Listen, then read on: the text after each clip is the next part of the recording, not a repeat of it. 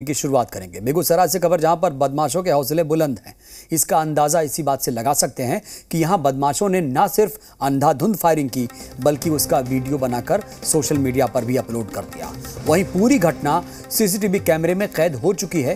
पूरी घटना को आपसी वर्चस्व को लेकर अंजाम दिया गया। मामला रतनपुर थाना क्षेत्र के रतनपुर का है जहाँ कुख्यात बदमाश सौरभ और गौरव कुमार के घर पर दूसरे आपराधिक गिरोह के सदस्यों ने कई राउंड फायरिंग की है।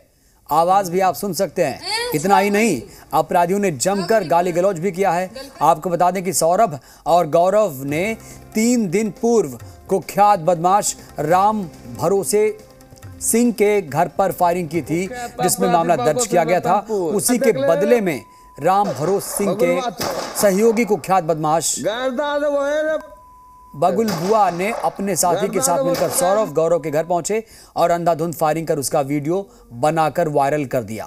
उधर रतनपुर थाना पुलिस प्राथमिकी दर्ज करके मामले की जाँच कर रही है। मैं सिंह रतनपुर। कुख्यात अपराधी सिंह रतनपुर? देख ले रे। तो आप देख रहे हैं किस तरीके से बदमाश सरेआम फायरिंग कर रहे हैं।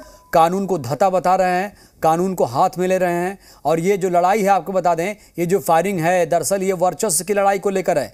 एक गैंग पहले फायरिंग करता है दूसरा गैंग बदला लेने के लिए वो भी फायरिंग करने के लिए पहुँच जाता है। अब इसकी धमकी सुनिए। रतनपुर। देख ले बगुल वो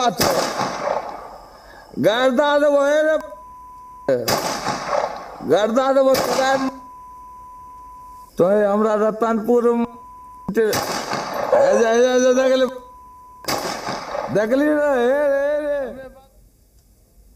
आप देख सकते हैं तस्वीरों में किस तरीके से अपराध चरम पर बढ़ रहा है।